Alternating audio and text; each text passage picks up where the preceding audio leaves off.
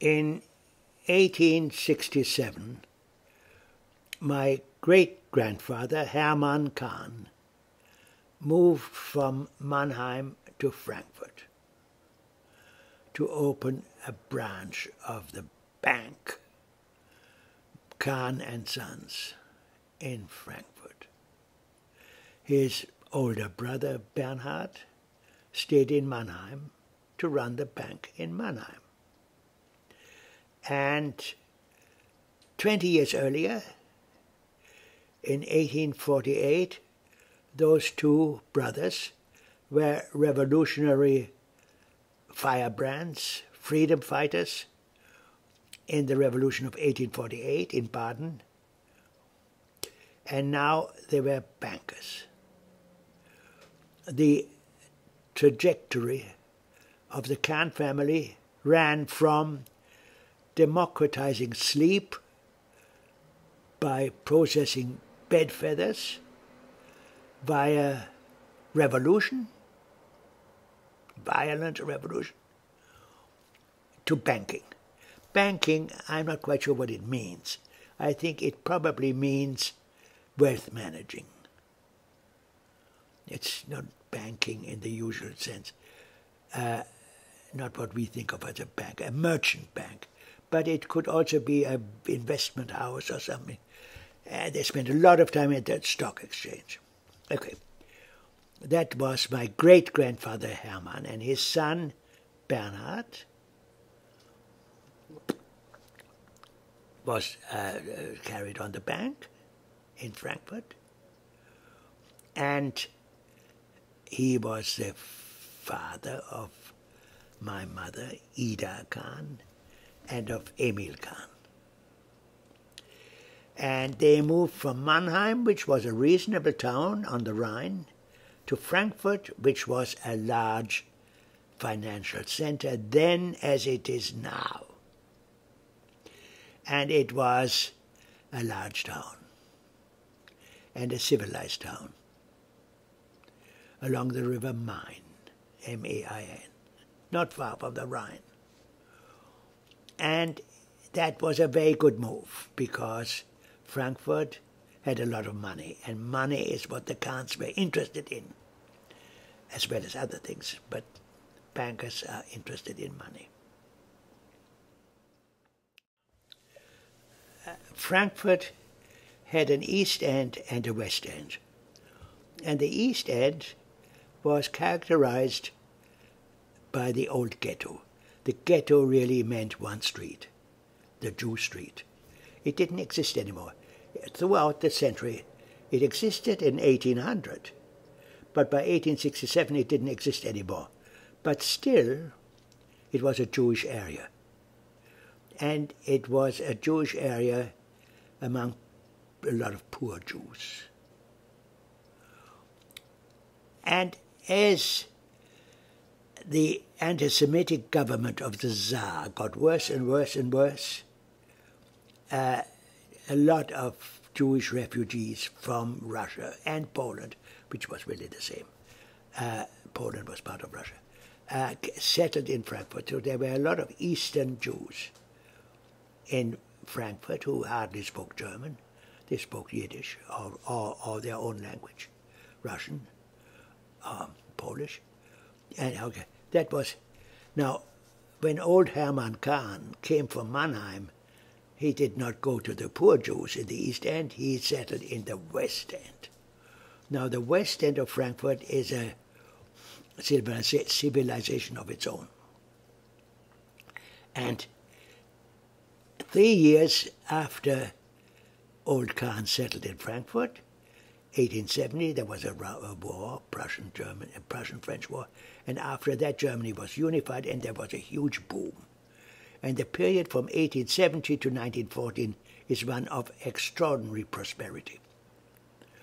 And the Kahns were among those, and there were many, many others, who benefited from the boom, the German boom, that followed the unification of Germany, which up to then had been about 357 little principalities, and it became unified.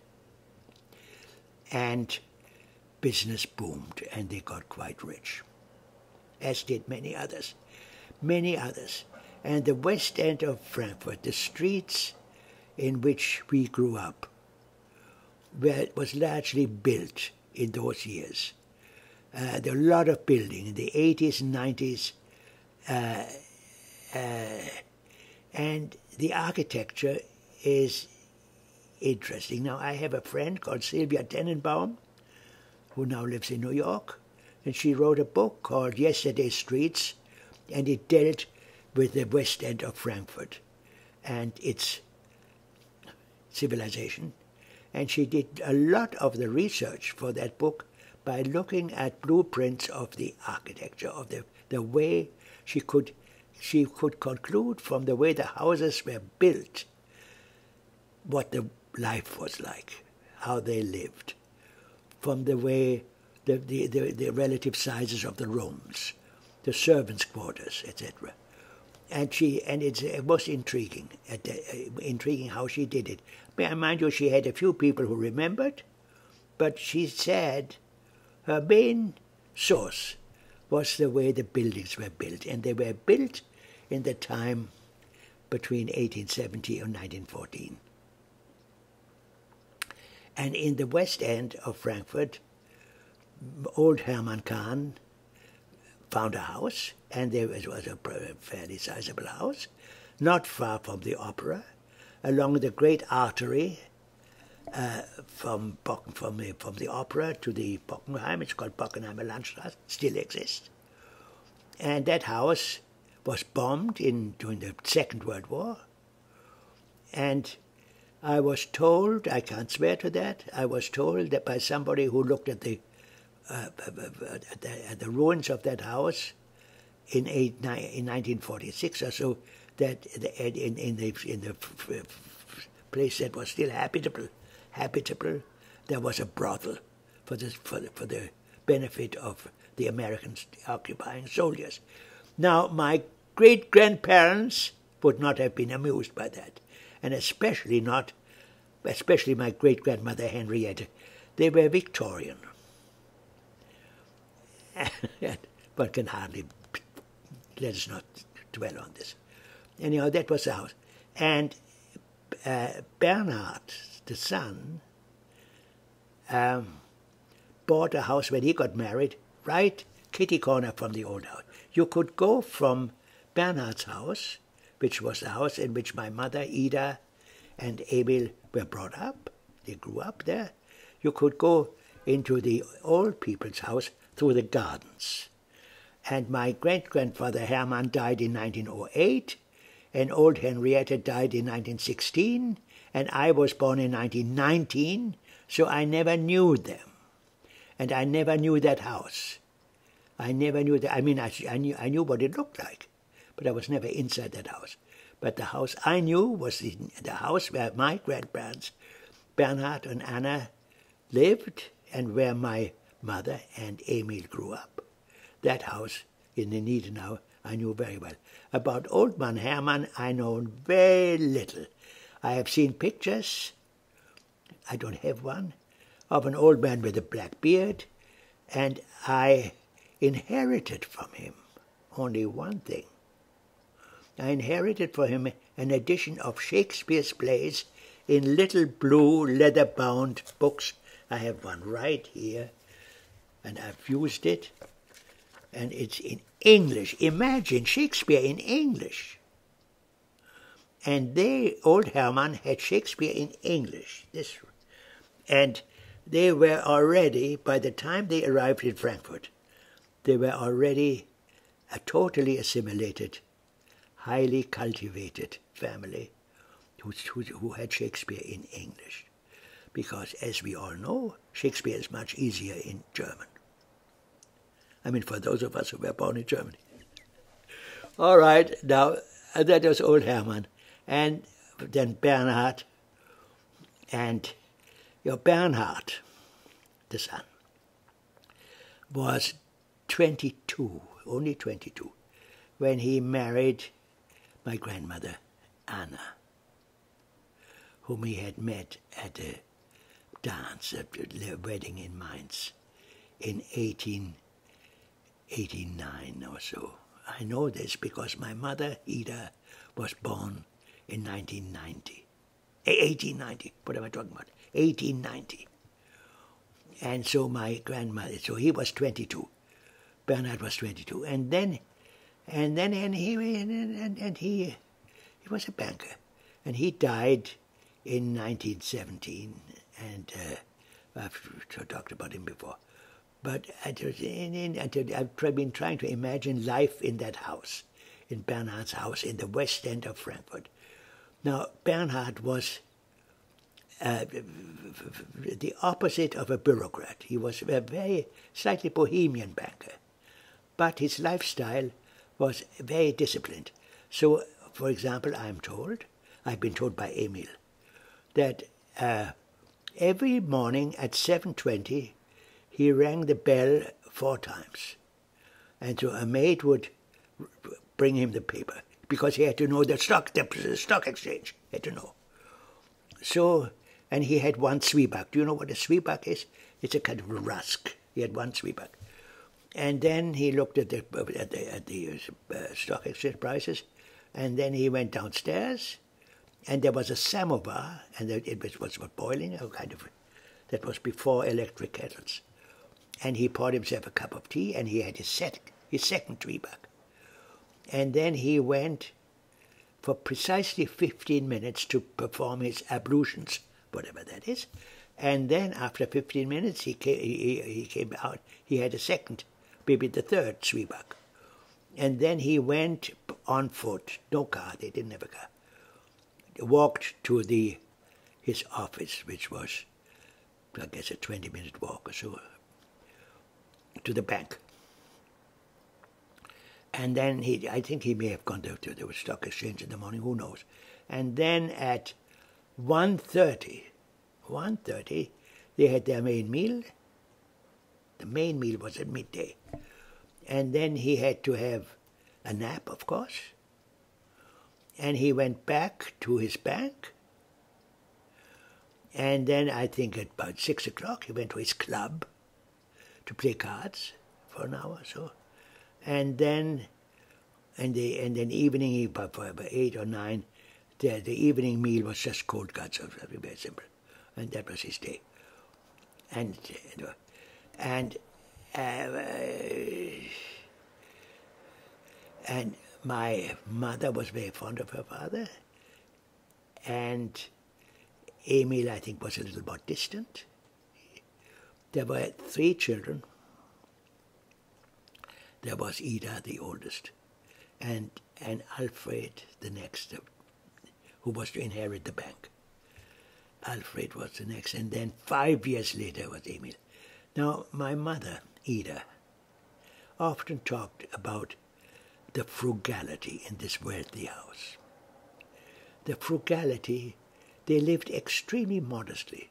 The children were never, were never, for example, if they had a, an apple or an orange, the children were never allowed to have two. And one day, my mother had mentioned this more than once, that uh, I think the grandmother had a box of chocolates, Lindt chocolates, L-I-N-D-T, very good Swiss chocolate, a little pieces of chocolate, and she offered my mother one. She was about six or seven, and my mother took the pear chocolate, and then while the grandmother was not looking, or while the grandfather was not looking, she took a second one. Uh, and this was seen, this was noticed. And the roof fell in. And she got a huge lecture, which she never forgot. And it was suggested to her that if she carried on like that, a life of crime and sin and crime would follow if she had to do it. And this is the kind of they were very frugal, and my grandmother Anna Kahn, was frugal unto the no luxury. No, no, no, uh, the, the, the luxury. I mean, no extravagance. They were rich but frugal. Uh, it's well, a lot of money was spent on philanthropy and on on on on uh, financing cultural events, music, etc. There was a lot of music in that house because the three children each played an instrument.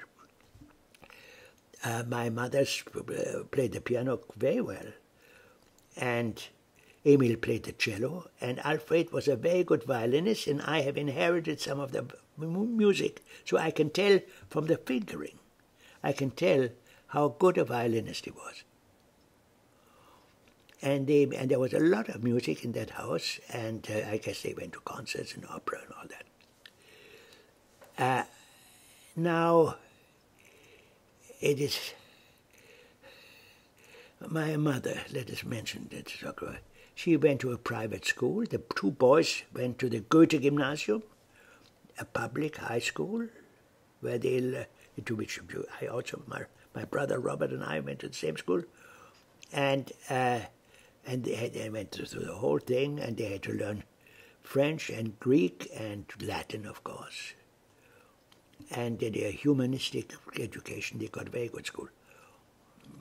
Uh, and my mother then, you see, it was out of the question that a girl should go to the university. A girl of in that social milieu would go to the uh, women did not go to university, with some exceptions. My mother was not one of the exceptions. She went for one year to a school, a kind of a finishing school in Brussels to learn French. I mean, she already spoke French, but to perfect her French. And in that house there was also Mim, whom I still knew. Mim was an English governess. They all learned English. They spoke English very well. They had English they learned as small children. Mim, whose name was Ethel Wilkins. And she was a very nice lady, and there was only one slight defect. She was quite deaf. So in my childhood, I thought when speaking English means speaking very loudly because Mim couldn't hear. But she brought up all those, I mean, she was involved in the bringing up these three children. And Wolf still remembers her well. She then retired to England, I think. I'm not quite sure how she left Germany for England, but I still visited her when she was very old. I still visited her in a suburb of London around when it must have been in 1939 or so. Uh, and that is the atmosphere. Now, when my mother was 18, 19, I must, I may, maybe a little, a young man appeared, my father, Otto Koch. And he came from a very different culture, different type. And he, he also played the violin, and I think they met through music because my mother accompanied him. And they knew each other because, uh, small world, uh, my father's was brought up a couple of blocks north of the Kahn house. And they knew each other. They, but and and Otto Koch, for what I gather, was very interested in my mother, and my mother didn't hardly paid attention to him. And he pursued her he waited for her at the street corner. He followed her wherever.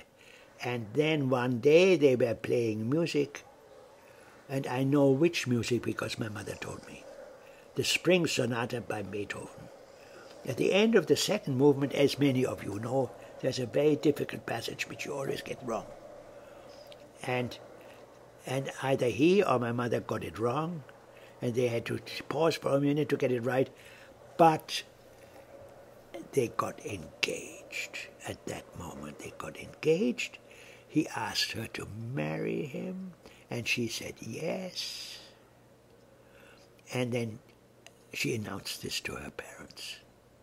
She announced this to her father, who was furious that this would happen uh, in this improper way, because the normal way would be the young man would have to come to her and ask for her, his daughter's hand in marriage, but they there was a preemptive strike and they got engaged without the father's permission. Now, I understand he was furious. Old Bernhard was furious. And the grandmother, Henrietta, was triply furious because there was a social cleavage between the banker and the jeweler. Now, my father was second generation, a court jeweler, not just an ordinary jeweler, but an, a, a jeweler to the court, to the imperial court, and to dozens of minor courts, to the king of Italy, and all kinds of courts, and they were very snooty. And, and however, uh, that family, unlike Hermann, old Hermann, who already read, read Shakespeare in English, that family was not as cultured as the Kahns. And they were a second, they were one generation behind. You see, the Kahns were already cultured in Mannheim a generation ahead of it. The Kochs were not. The Kochs, to, to my great grandmother Henrietta, the tough lady, the Kochs were parvenus. Also, they had an open store, a store, an open store, which is not as good as a bank. A bank does not have a store, not a. So it was not quite as good as a bank, and so they. There's an amusing story about this. A, a scandal paper in Frankfurt got wind of this engagement and they made a joke. Well, you have to know German very well to get the joke. Kahn in German is also a word to describe a boat.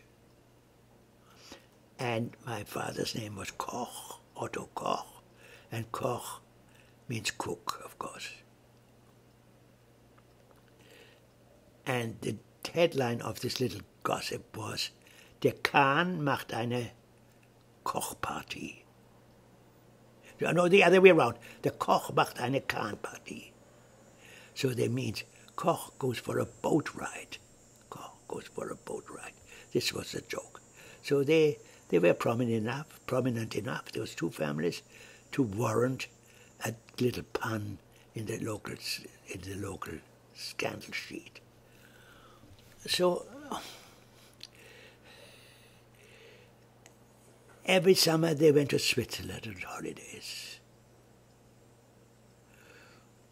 And in the summer of 1914, July 1914, they went to Switzerland.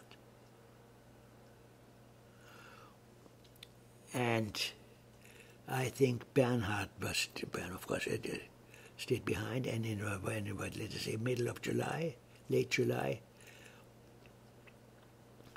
they sent a telegram to wherever they were in Pontresina, in the Engadine, saying, I, I, I, come home and war, there may be a war coming. And my mother always said she remembers, she got in Zurich or somewhere, she saw, remembers the headlines. It was not, it was not at Sarajevo, but it was after that. And they went home, and you see the I mention this because this idyllic period, which began in 1970, this great boom time, boom town, the great prosperity of the Frankfurt West End, and the money they made in the bank and the money they made in the jewelry store, all this came crashing down in 1914, the end of the world, the end of, it was the end of something big. Alfred, the son, my mother's brother, who was born a year after my mother in 1891. He was to inherit the bank. And in 1912, just after my parents got married, he went to England, to the city of London, to London, to learn banking in the city of London. That's where you learn it. For two years, for two years he was in London. And then in July 1914, he came home because there was about, about to be a war. Felt the war was naturally here to come home, to join up. And he joined up. And in the summer of 1918, he was killed.